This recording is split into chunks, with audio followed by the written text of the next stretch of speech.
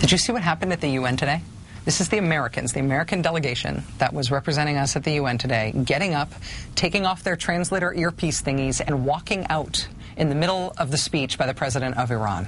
Can, at one point, you can see they actually sort of do a little little, little, awkward turn in their walkout so they can be sure everybody sees them storming out. They don't want to go out the back of the room.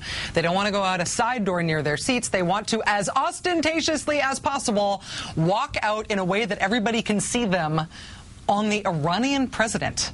And then everybody else starts walking out too. Canada's guys walked out, uh, uh, New Zealand, Australia, Costa Rica, the European Union, the UN representatives from 27 countries in Europe, all Pied Pipered out behind the Americans, while Iran's president, while Mahmoud Ahmadinejad kept talking from the little step stool they presumably put up behind the podium for him.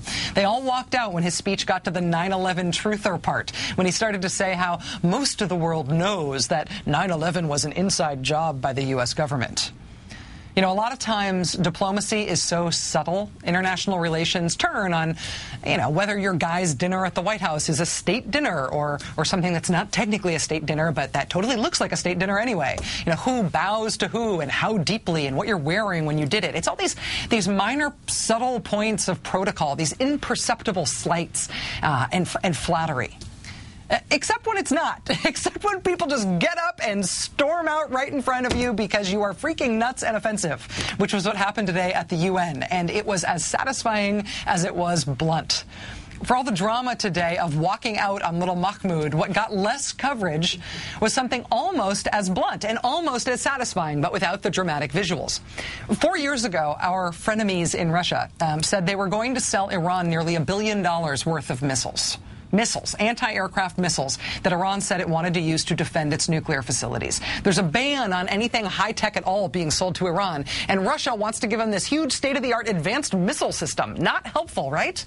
The decision happened during the Bush administration in 2006, and ever since then, Russia has been hemming and hawing about whether or not it's really going to do it, whether or not it's really going to go ahead with selling Iran these missiles.